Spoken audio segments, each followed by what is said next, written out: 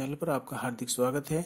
आज की इस वीडियो में हम आपको बताने वाले हैं सर्दी, खांसी, जुकाम और एलर्जी। इन सभी के लिए पाँच घरेलू और बहुत ही ज़्यादा इफ़ेक्टिव आयुर्वेदिक उपचार। दोस्तों, सर्दी, खांसी और जुकाम, ये सब एक ही परिवार के रोग हैं और इनकी औषधि भी लगभग एक ही जैसी है।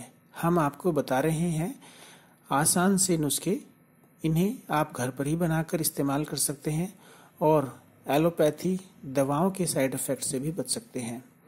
आइए देखते हैं दवा बनाने की विधि और इस्तेमाल करने का तरीका। नंबर एक, सर्दी, खांसी, जुकाम, एलर्जी आदि के लिए दवा आप घर पर बना सकते हैं। इसके लिए आपको चाहिए तुलसी का पौधा 50 ग्राम, जिसमें पत्ते, तना और बीज तीनों होने चाहिए। अब इस पौधे को एक बर्तन में डालकर 500 मिलीग्राम पानी डाल लें और इसमें दो इसमें 100 ग्राम अदरक और 20 ग्राम काली मिर्च दोनों को कूट पीस कर डाल दें और अच्छे से उबालें। जब पानी 100 ग्राम रह जाए तो इसे छानकर किसी कांच की बोतल में डालकर रख लें। ठंडा होने पर इसमें थोड़ा सा शहद मिला लें। अब आप इसके दो दो चम्मच दिन में तीन बार लें।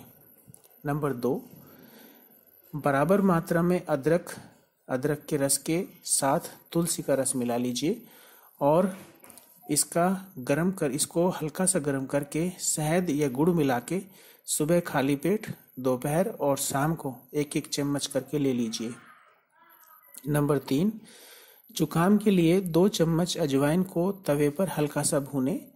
और फिर उसे एक रुमाल या कपड़े में बाँध लें और पोटली बना लें और उस पोटली को नाक से सूंखें और सो जाएँ।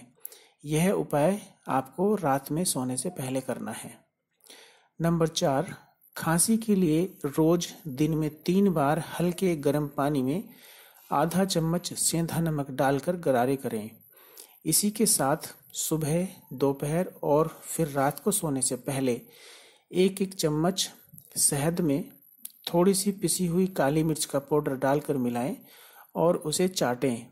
अगर खांसी ज़्यादा आ रही हो तो दो साबुत काली मिर्च के दाने और थोड़ी सी मिश्री मुँह में डालकर चूसें।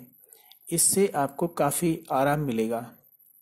नंबर पाँच, गले की खराश या गले में किसी भी प्रकार का इन्फेक्शन हो, गला बैठ गया हो पानी पीने में भी तकलीफ़ हो रही हो, लार निकलने में भी, लार को निगलने में भी तकलीफ़ हो रही है, आवाज़ भारी हो गई है, इन सब समस्याओं के लिए एक गिलास देसी गाय का दूध लें और उसमें एक चम्मच देसी गाय का घी और चौथाई चम्मच हल्दी, इन सबको मिलाकर थोड़ी सा थोड़ा सा उबालें और इसको चाय की तरह शाम को एक बार ज़रूर पिएँ।